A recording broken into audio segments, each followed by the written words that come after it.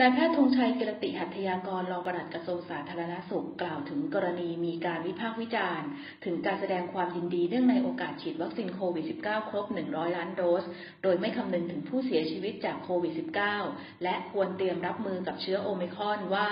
การฉีดวัคซีนโควิด -19 ให้ถึงเป้าหมาย 100 ล้านโดส เป็นภารกิจที่ต้องดำเนินการแข่งกับเวลา เนื่องจากสถานการณ์การแพร่ระบาดต้องพยายามฉีดให้ได้เร็วที่สุด เพื่อให้ประชาชนมีภูมิคุ้มกันที่เกิดขึ้นโดยเร็วซึ่งไม่ใช่ช่เรื่องปกติที่ทำได้ทั่วไป แต่ต้องอาศัยกำลังกายกำลังใจ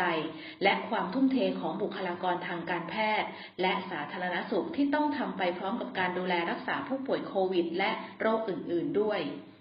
การชื่นชมยินดีที่บุคลากรสาธารณสุข สามารถฉีดวัคซีนได้ตามเป้าหมาย จึงถือเป็นสิ่งดีๆ ที่ผู้บริหารสามารถทำให้แก่บุคลากรผู้ปฏิบัติงานได้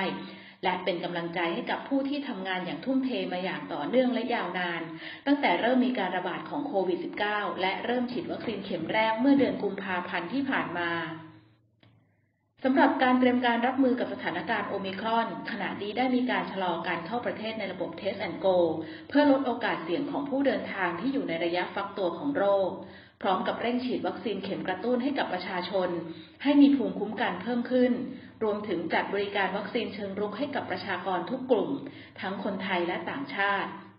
ส่วนด้านการรักษาพยาบาลมีการเตรียมความพร้อม โดยทั้งประเทศมีเตียงรองรับผู้ป่วยโควิดมากกว่า 200,000 เตียง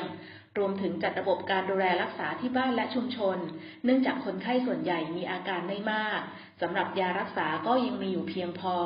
พร้อมทั้งกำลังปรับปรุงแนวทางการรักษาโรคให้เหมาะสมกับสถานการณ์ รวมถึงยาและอุปกรณ์อื่น ๆ ก็มีสำรองไว้ไม่น้อยกว่า 3 เดือน อย่างไรก็ตามสิ่งสำคัญที่จะช่วยป้องกันการติดเชื้อ ยังถือเป็นมาตรการส่วนบุคคล ทั้งการสวมหน้ากากอนามัย ล้างมือเว้นระยะห่าง หลีกเลี่ยงสถานที่แออัด ซึ่งเหล่านี้จะสามารถป้องกันโควิด -19 ได้ทุกสายพันธุ์